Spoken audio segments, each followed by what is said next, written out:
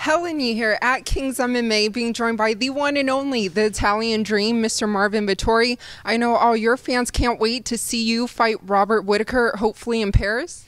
Yeah, absolutely. Let's let's do it. I mean, I've been wanting this fight. It was supposed to happen the 11th of June, and now you know it's been rescheduled for the 3rd of September. I can't wait. This is a fight that I wanted. I want my name. On, I want my his name on my record, and um, yeah, let's do it, man. Yeah, and I like I mentioned, I know all your fans can't wait. And someone I spoke to recently, Sean Strickland, when I spoke to him about you, he told me that he sees you as a future champion. So, how would you describe your guys' relationship and friendship? It's a very weird relationship that me and uh, me and Sean have, but we respect each other, and uh, you know he says a lot of crazy shit. It's hard to stay by his side a lot of times, but I know him deep inside. He's not a bad guy, you know, and uh, he brings it. We help each other. We've been helping each other for like over five or more years uh, almost. So even when they asked to fight each other, we were like kind of like weird, you know, because he's one of the guys that give me more more work than than a lot of other guys, and it's the same for him. So.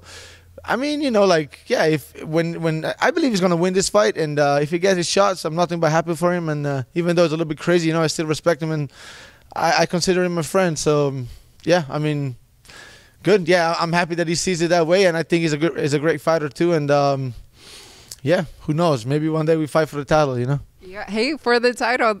That would be a great press conference for sure. For sure. But speaking of someone you just fought and have a win over, Paulo Costa, he's scheduled to fight Luke Rockholds, which Luke told the Schmo yesterday, maybe sometime in August. What do you make of that matchup? I see Luke Rockhold losing the, the, few brain cells that he has left in his brain and just going to sleep badly for a few minutes. So, but yeah, I mean, that's, I mean, you know, like Rockhold, they're two guys that they're, their stock they're not high right now, you know. So makes sense that they fight each other, you know. But are you surprised that the UFC offered Paulo Costa another fight at 185, given that you know his fight with you, how much he came in weighing?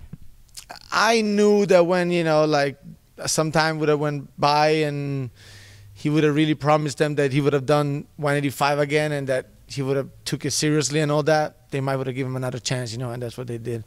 But I mean, that's his business at the end of the day. I've heard stories uh, um, that you know he goes up to like 250, 250, 245, 250. So he has, you know, he has to take it like with a lot of time to make 185. But I, I mean, he did it before and he's I, I, believe you know if he takes it seriously he's gonna do it again. So I think he's gonna do it this time. I just the last time with me everything was pretty crazy but you know it, it, you know whatever you know. I, I took the fight I made it happen I beat him and that's about that's about it. Yeah now you're moving forward and moving on to Robert Whittaker. But someone else in your weight division Darren Till it looks like he and Khamzat Chimaev have started kind of a friendship. What do you make of their friendship? Uh, that, it's i mean you know friendship is good you know this, this, sport can be a very lonely sport can be a lonely place sometimes and you know at the end of the day get being friends is not there's nothing bad with it. I just saw some of the things that i don't think that they were like um, favoring like Khamzat in a sense like like Till on his corner holding pads for him that was horrible you know like it's funny we even have a group that sean strickland did on instagram and we were talking all kind of shit on in the on the on the on the group, and Darren Till and Khamzat were in it too. And even right after the fight, I said, "Listen, Darren, like just fucking stop it. You look horrible holding those pads." But um, what did Darren say? He never answered. but yeah, we were usual to bully Darren a little bit in that group. Wait, so there's an Instagram group yeah, chat. Who's yeah, who kicked you out? The, uh, Sean Strickland, yeah, it's a, it's a. I have some videos of it. It's so fucking funny. Like people sending like, yeah. Are you guys like Sean never told you about it? It was supposed to be like a like a like a sparring group, and then they kicked me out since I'm not in Vegas all the time and I didn't show up. Oh, that's actually that's what he said. Uh, Khamzat even said it like, oh, I didn't show up for the sparring that time, but I was here, bro. Like, well, am I gonna drive like five hours just to spar and then come back? Like and also I didn't plan it. They said like the morning for the for the afternoon. Plus I got my own shit going on, and I, and I want to fight this guy, so I'm not gonna spar him. But uh, so yeah, on that group they asked like they were like oh like show up for sparring, but I was here. So then uh, so yeah, we we had a group though, and like sending all kind of videos and like.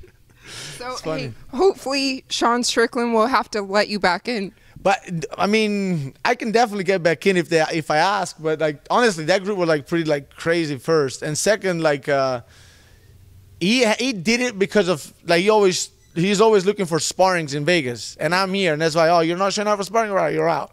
So that's why basically I'm out. So it's okay, I'm out. But I was in for a while, and it was super funny. Well, for all your fans who can't wait to watch your return against Robert Whittaker, what would you like to let them know? That we're going to Paris and take that uh, Eiffel Tower and bring it back to Italy. So, 3rd of September, there's going to be fire.